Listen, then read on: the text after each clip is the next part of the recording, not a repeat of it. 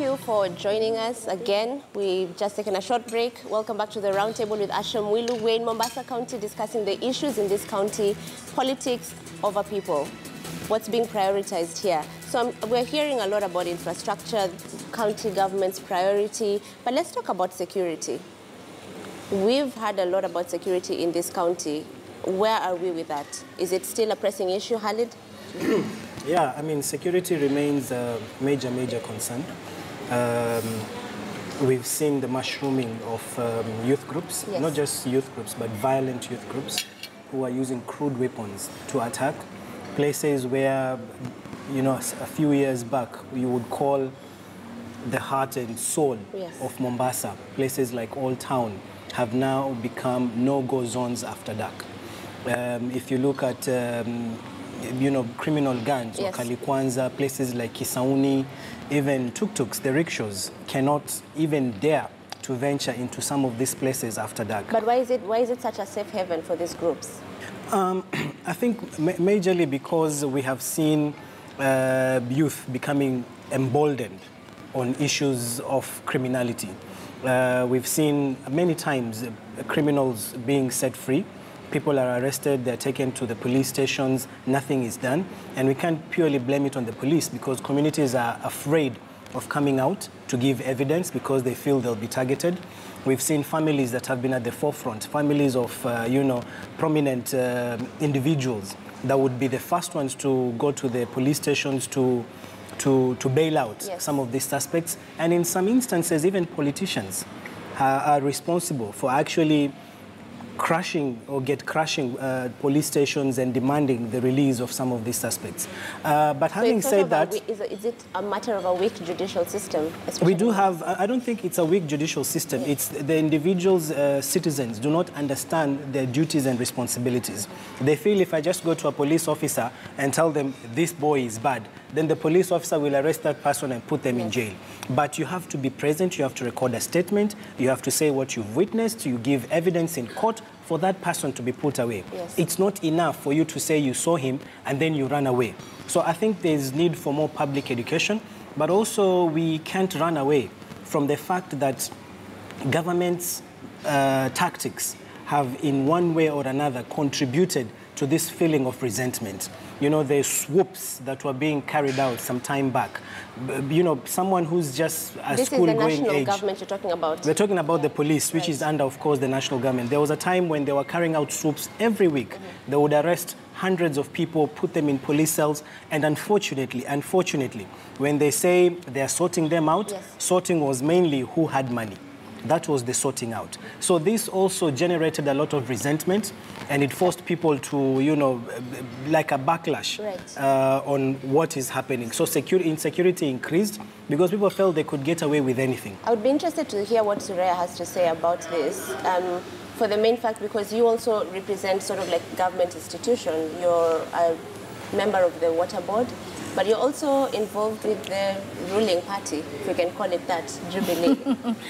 Yeah, no, um, okay. I, I, I would- like to speak as a resident also of Mombasa, and uh, I want to agree with what Hussein has said. Uh, insecurity was uh, a major issue, uh, but uh, sincerely speaking, I think a lot of work has also been put in. Uh, from the national government, because now women, even the youth, are involved in matters security. People have taken responsibility. I think the, the, the terrorism thing has opened our eyes and everybody has taken charge. Everybody now knows that security is my business. So, but the fact that the police, uh, you, you know, have opened up doors and there's, there's a lot of dialogues that is going on within the community. Yes. You know, so it's become easy for even the women to, be- to, to be engaged. The women are in community policing. The women are in nyumba kumis. The women have taken up leadership, and I think it has opened up space for people to talk about security. And for a long time, security has been a preserve of the men. The women are not even on the table. So that, that has been something that, but now the issues of terrorism has affected us. We have a lot of our women who have been affected. We have a lot of our girls who have been trafficked to go to Yes. Somalia to join the, the terror groups.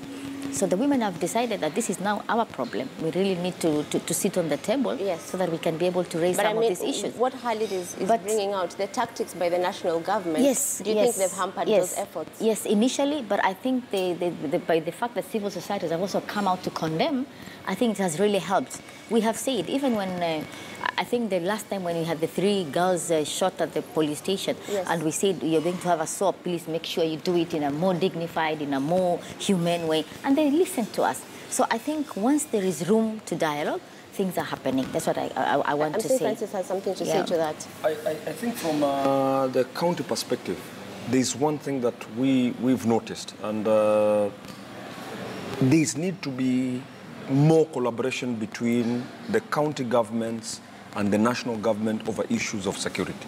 We have an interest too, as a government, because we realize in, in the event that there's insecurity, Yes. it affects our people. What have we done as a county? You also need to appreciate that over time, we have invested heavily through partners, where we have worked together to bring some vehicles, Yes. where we assist uh, the police to patrol within our areas. And by doing that, we are at least showing the public that, at least in terms of security, Yes. there's something being done. But I agree with Khalid that it's, it's, it's time now that uh, we change the approach as to how we are dealing with uh, issues of insecurity and criminality within our county. Maimuna, do you want to add your voice to that maybe before we go to Khalid? As Maimuna is responding, one thing is for sure Yes. is that security, as in as much as it's a national government responsibility, it has to be all-encompassing. It has to bring everyone on board. And uh, in as much as the national government has begun responding and addressing issues, you know, the open door policy, they're bringing in the counter government, civil society, which is bearing very serious and positive images. One, I mean, uh, results. One thing that we are still lacking Yes. is poor parenting. I think as a people ourselves, before we even point fingers to the national government, to the county government, there has, in the last 10, 15 years, parenting has become extremely, extremely, extremely poor. That is why youth, 14 years old, 13 years old, are going out with knives, Yes. with, you know, those cobbler, cobbler pins. I don't know what they used to do. The, and that's, you know, I mean, we have to ask So- so ourselves the as a Mombasa society. people need to know and women, women more specifically as, I mean, traditionally, we're saying traditionally, Yes. they're the ones who are responsible for, They're you know, we, yeah, they're overwhelmed. but that also is something. Men have disappeared. I don't want to, I don't want, I'm saying parenting in general, Side, okay. parenting in general, but specifically women. Yes. I think uh, for a long time as a society, we've disregarded education for women, we've disregarded capacity building, and now this is coming back on us because we're leaving them with all these responsibilities. When now they, they, they, they don't have the capacity probably Sure. to do it, and now these are the results that we are seeing. I So think- we have to work together. Great point. We have about three minutes left. I want to talk about one issue we can't leave this table without discussing the perception that Mombasa is a heaven for drugs and drug barons. Maimuna, is that a true, is that the reality?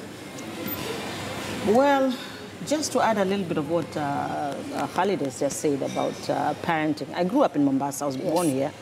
There was a time in Mombasa that you could walk around and uh, everybody would know who you are. And from school, you would still walk home uh, comfortably uh, as a daughter or as a young girl, and you wouldn't feel uh, any fear. But today, um, as an adult, I cannot walk around Mombasa freely. Yes, the issue of uh, insecurity, um, drugs among the youth, and the youth, both men and women, young men and women, uh, has been rampant. Before we used to hear people uh, smoking bhang, but today they're the bigger drugs. Yeah, and and it's not the smaller uh, people who are dealing in drugs. We hear of big names, people in high offices um, dealing in drugs. But when the, uh, the swoop comes around, it just picks the smaller smokers and, you know, peddlers.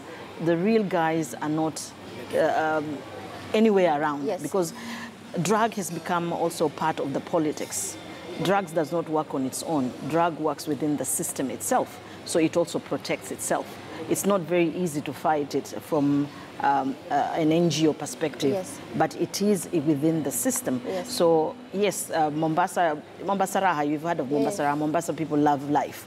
So I guess it was easy to, to, to, to come to Mombasa and sell and sell drugs and, and drugs will sell. But again, in, on the issue of parenting, I I won't agree so much on that. Our social fabric is broken down because yes, we definitely don't value education in Mombasa and generally in the coast region. Anybody who's educated, everybody wants to look down on you. And appropriately, Yes. the social fabric has broken down. We don't value ourselves and we don't value education. Okay, well said. I wish we had more time to discuss it further, but this is just the beginning of that conversation, and we will come back the round table again. I'll just go around one, one time and take your parting shot in terms of just like 10 seconds, really short. Francis. I think when I look at Mombasa, there's a bright future for Mombasa. It's up to us as leaders to put our personality differences aside and face the real issues. I Our hope you'll send that message to the our governor as well, in and our tell him I'm going to come back the with a people in round table. Mombasa who are listening to me Yes. believe that there are serious issues that we need to put forward True. rather than personalities. Well Thank said, you. Suraya. I think there's a lot of psychophancy. There's a lot of bootlicking in this town.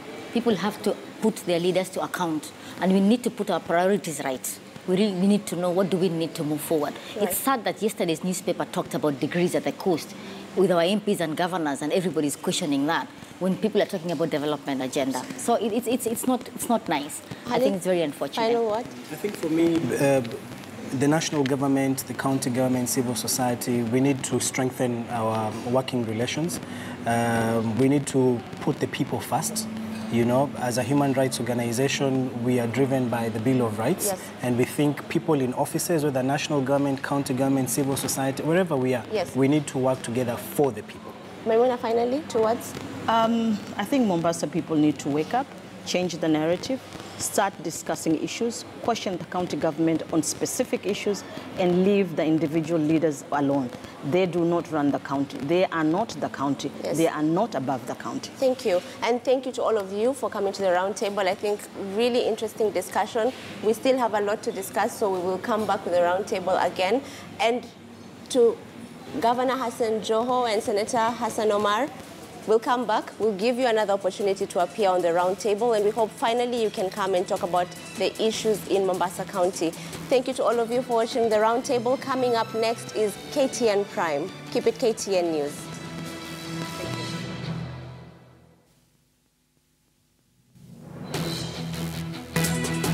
The roundtable was live from the Pride Inn Hotel, Mombasa.